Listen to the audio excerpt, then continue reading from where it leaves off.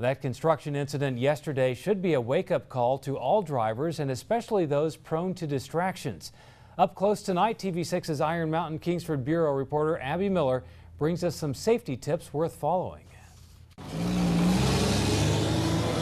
The main street in Iron Mountain is already narrow to begin with, but add dozens of construction workers and projects, and the scene looks more like the streets of a metropolis.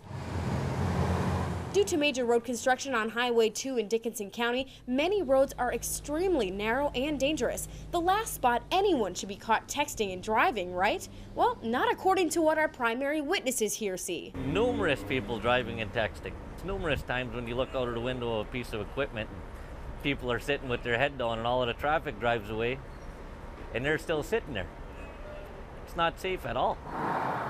Whether it's texting, driving too fast, or like Andrea Drawski from Quinnesec who allegedly hit a worker yesterday, intoxicated, whichever distraction it is, you can be putting many lives at risk and possibly facing some court time.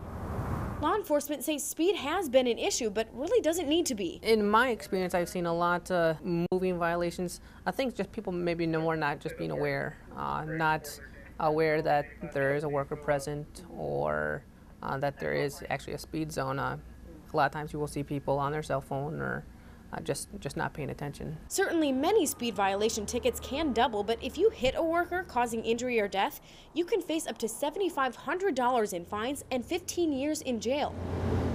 And in fact, Consumers Energy reported that in 2012, there were 11,000 construction zone and utility related car crashes. By simply being aware of your surroundings, many accidents can be avoided. In Iron Mountain, Abby Miller, TV6 News.